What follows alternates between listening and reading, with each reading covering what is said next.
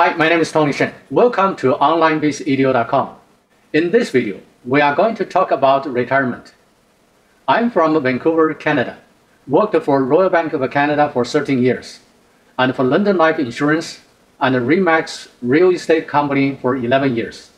I never realized that I could be my own boss of my own business until I approached retirement. I started my retirement in April 2013, but without enough money for keeping my comfortable living. Can I have a, a question for you? Do you have enough money for your retirement? The hard truth is that most baby boomers don't.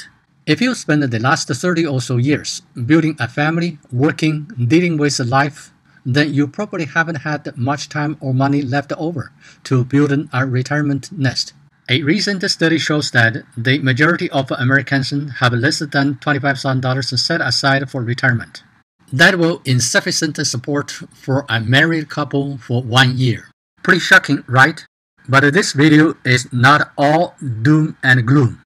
Whether you are uh, approaching retirement or already in retirement, I'm about to show you a way to maintain or improve on your current lifestyle well into your golden years. Here is the best part. You can do this from the comfort of your own home. It only takes a few hours a week, and you do not need to be physically fit. Now, before I explain what the retirement life raft is, let's talk about the current state of affairs. I'm going to be brutally honest to you because it's important that you understand how urgent it is that you take matters into your own hands. We are on the edge of the greatest retirement crisis in the history of the world. We will witness the millions of elder Americans and baby boomers from all over the world slipping into poverty. These four main reasons why the situation is so severe.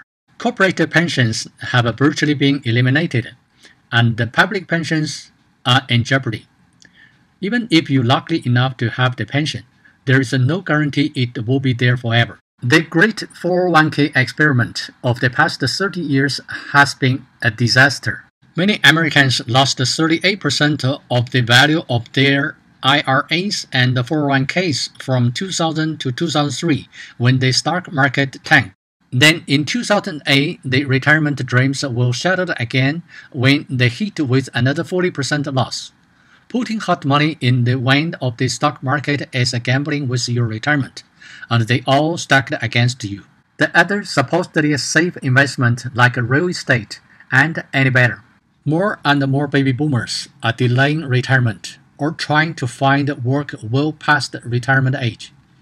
And with the economy the way it is, work is hard to find, and the jobs that are available don't pay enough to live on. If you enjoyed this educational training, keep up with all of our newly videos by clicking the subscriber button below.